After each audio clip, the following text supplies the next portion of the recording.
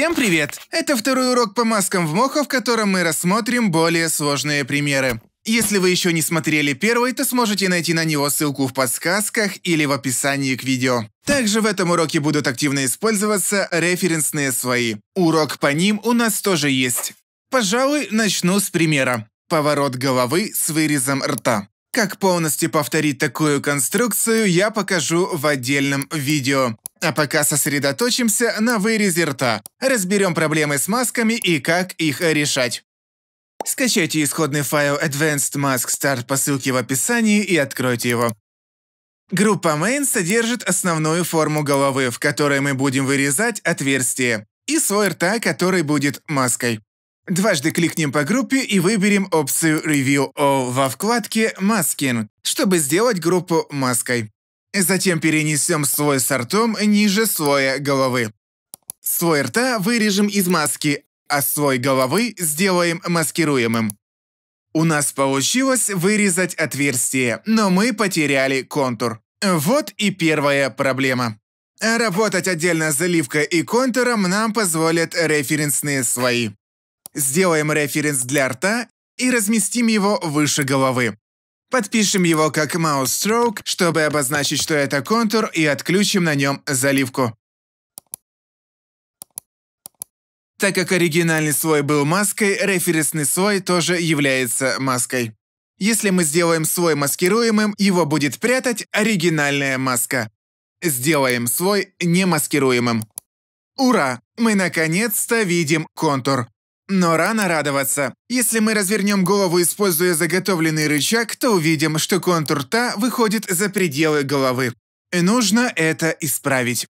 Нам нужна отдельная маска для рта. Для этого сделаем референсный слой головы и назовем его Main Remask. Далее необходимо очистить маску и добавить к ней слой, оставив его невидимым. Теперь сделаем контур рта маскируемым. И все.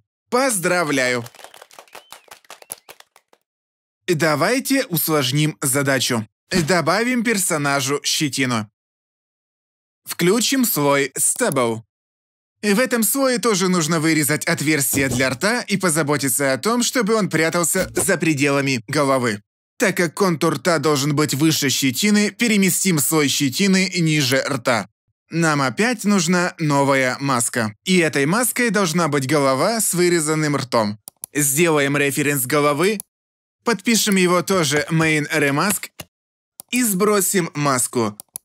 Сделаем референс рта и разместим под слоем щетины.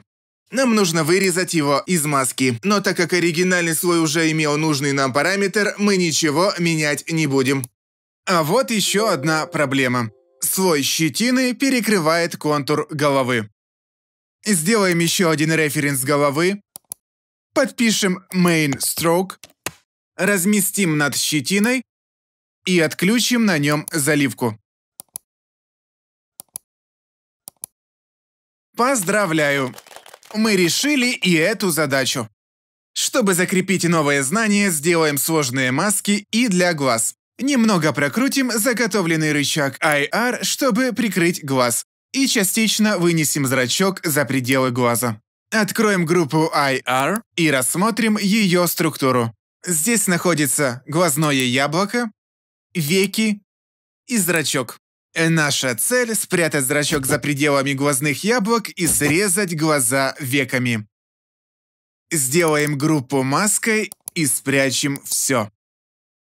И у нас снова две проблемы. Первая – глазное яблоко срезает веки, а не наоборот. Вторая – зрачок хоть и срезался глазным яблоком, но он перекрывает контур.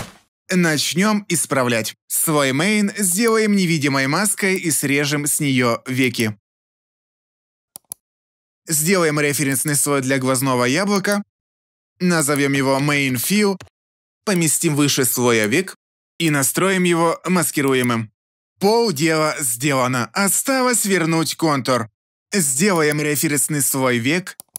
Назовем его Eyelid Stroke и разместим над зрачком. Назначим слой немаскируемым и отключим на нем заливку.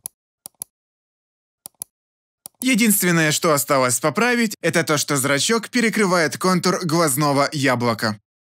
Создадим референс слоя Main, назовем его Main Stroke и поместим над зрачком.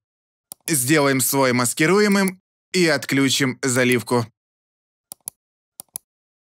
Поздравляю! Я думаю, суть вы поняли и теперь сможете сами решать различные задачи с масками. Так как маски построены на референсных слоях, анимировать нужно только оригинальные слои, а референсы полностью автоматические и повторяют оригиналы. Я бы посоветовал перекрасить их в другой цвет, чтобы случайно не поставить на них ключи. Также, если пометить слои, которые сбрасывают маски, структура маски будет считаться легче. Во всяком случае, не злоупотребляйте масками и референсными слоями, так как моделька может стать тяжеловатой. Не используйте их там, где можно обойтись без них. На этом все, спасибо за просмотр, всем пока.